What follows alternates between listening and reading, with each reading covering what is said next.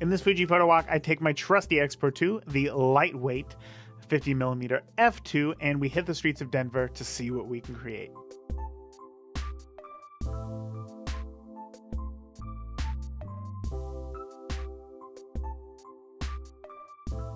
When I say Denver, Colorado, what do you think of? Is it the beautiful mountains, the fresh air, the recreational activities?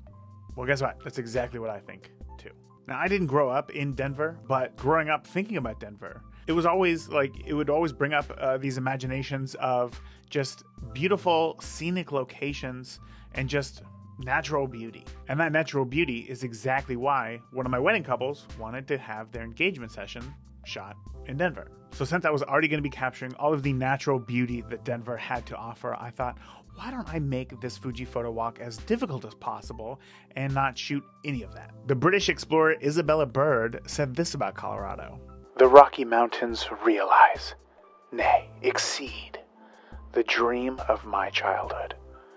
It is magnificent, and the air is life giving those are some pretty powerful words, but if you've ever been to Denver before, you kind of get it. But Denver has this other side to it that is, uh, I think, equally as beautiful, but gets nowhere near the amount of recognition that the mountains get.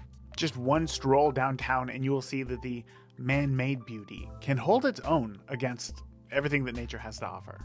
I promise that if you were to ask any of your many geologist friends about what shapes that you might find in nature, a 90 degree angle would never be one of those. The simple shape of life is just simply much more organic than a 90 degree angle or a square. So it was my challenge on this Fuji photo walk to capture that. All of the beauty that Denver had to offer that was not organic in nature. So my goal for this Fuji photo walk was to capture two things, light and lines.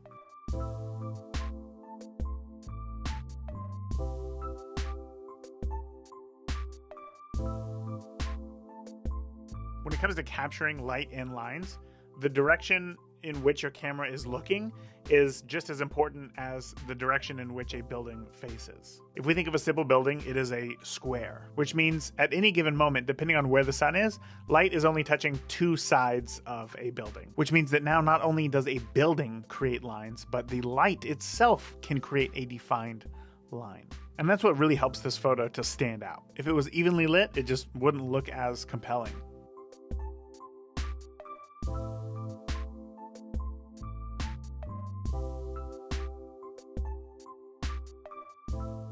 Oftentimes I find that when I go out and shoot, while I may see something in front of me and recognize that there's something that I like about it, um, and I take the photo, it's really not until I'm able to come back that I'm able to recognize more of a pattern in not only the subjects that I was shooting, but also the way that I was shooting. But I think with an image like this, it is, it's exactly what you think it is. You could look at this knowing that it's Denver, and I could tell you all of these windows represent an office building that somebody has to go to and they have to be inside when we all know that they just want to be outside and be in nature and it almost feels like a prison.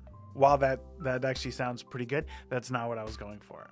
This is an image where I simply really liked the repeating patterns and I liked the lines and I liked the gradient of the light coming from the top right down to the bottom left. And that's all that you need to like a photo. It doesn't have to be some big story that has some sort of deeper meaning. Sometimes you can just like the light and the lines.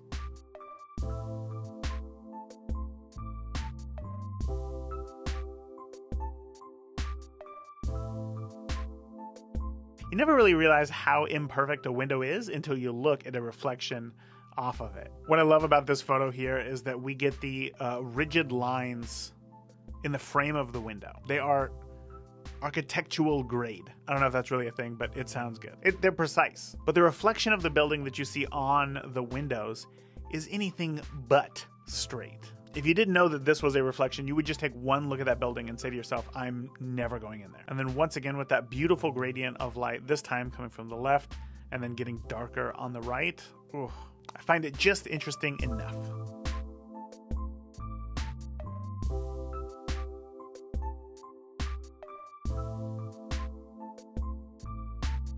In seventh and eighth grade, we took a school field trip to Yosemite, and that's where I first learned about different rock layers and recognizing what they look like and, and what they can tell us. And I don't know what that was, but I feel like ever since then, throughout my life, my brain does a really good job at just recognizing different layers of different things. So while this photo here represents exactly what I was going for, light and lines, what I like is that some of these lines are more perpendicular than they are uh, vertical and horizontal. A line doesn't necessarily have to make a grid, sometimes those lines can intersect with each other. And that different pattern of lines gives this photo just enough extra interest. If we look at the straight out of camera, it's just not as impactful. It's not a complete transformation, it's just 5 to 10%.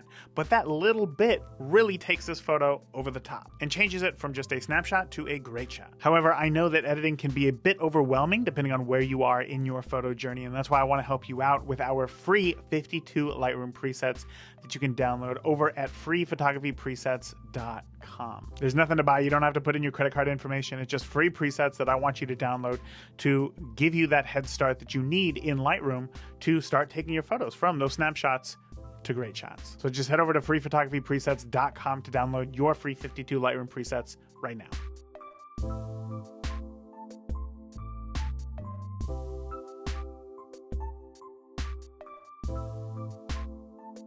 I think very rarely is it interesting to find just a flat shot of a building. But this photo right here is just Line City. Not only do we have the straight line of the building, but we also have more lines carved into the facade of the building itself. And they work to frame in this strip of beautifully square windows. Oh, hold on, because we're not done yet. Each one of those windows is just beautifully filled with the most binary of colors, black and white.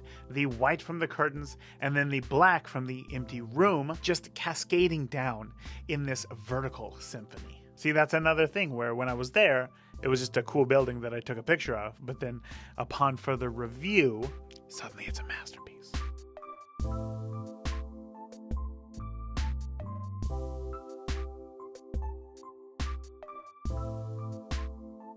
For all the photos up until this point, they were pretty straightforward. I saw something and I took a picture of it. This is the first photo where I actively tried to incorporate different layers of depth to emphasize my subject. While the pattern of this building can be seen as interesting, it's a pretty plain photo. With the other two buildings, they frame in just enough of the photo to where your eyes really can't look anywhere else but the hero building right there in the middle. And this building right here is the exact same building, but it's the exact opposite compositional technique.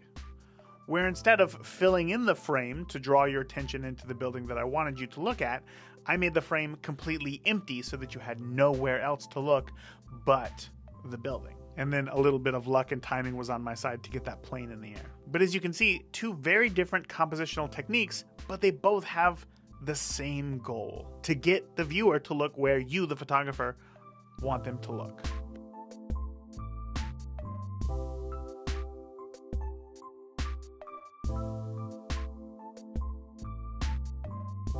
Denver is a truly beautiful city that sits at the base of an incredible mountain range. But sometimes I think as photographers, if we are not challenged, we will always take the easy way out. And while, of course, I did take photos of nature and being up in the mountains and, you know, the, the gorgeous views that it has to offer, I'm surprisingly not as uh, proud of those photos as I am with these photos taken downtown. And a lot of that is simply because when you push yourself as a photographer, when you put yourself under stress, you grow. Photos of buildings, architecture photography, it's not my gig. But when you go in with a set of rules to follow and some limitations that you have to abide by, I really think that the photos that you're going to be able to capture are going to be better than you expect. Simply put, I'm always going to remember challenge more than I will the easy stuff. And depending on where you're at right now, photography may not be easy. But if you keep at it and you go through those challenges, it will be. It's those challenges that are going to forge you into the photographer that you want to be. If you like this Fuji photo walk, I got a whole playlist full of them. Florida, Kansas City, Atlanta, Interstate Rest Stop. They're all there for you, and I invite you to check them out. Talk soon.